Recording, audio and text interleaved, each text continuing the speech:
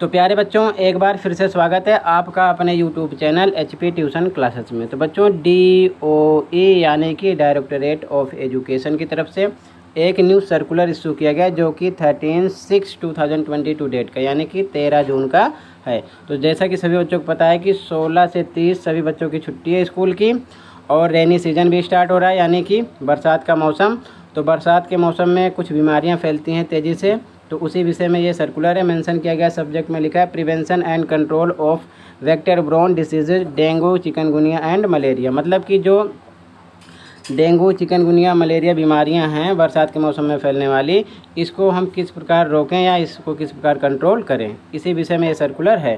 तो सारी चीज़ों का मेंशन किया गया है, ये सभी बच्चों के लिए क्लास फ़र्स्ट टू ट्वेल्व ठीक है ना? और डेली में जितने बच्चे पढ़ते हैं, सबके लिए चीज़ ध्यान में रखना है।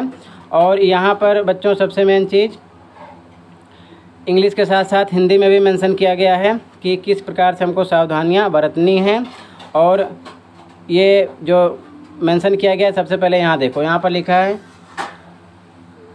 डेंगू, चिकनगुनिया एंड मलेरिया, हमें क्या करना चाहिए, क्या नहीं करना चाहिए। यहाँ पर इंग्लिश में लिखा हुआ है, आगे आपको हिंदी में भी मिल जाएगा टोटल ये सिक्स पेज का है तो आप अच्छे से पढ़ सकते हो, समझ सकते हो, ठीक है ना?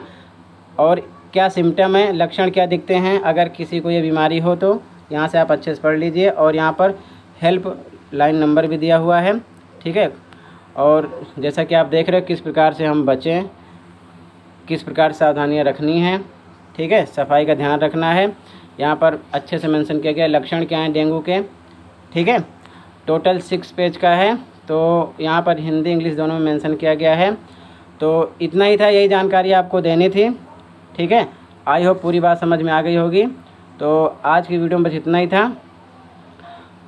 अगर वीडियो अच्छी लगे तो लाइक कर सकते हो, चैनल पर नए सब्सक्राइब कर सकते हो। मिलते हैं नेक्स्ट वीडियो में। वीडियो अपने दोस्तों को भी शेयर कर देना ताकि वो भी इस जानकारी को समझ सकें। Thank you for watching this video and take care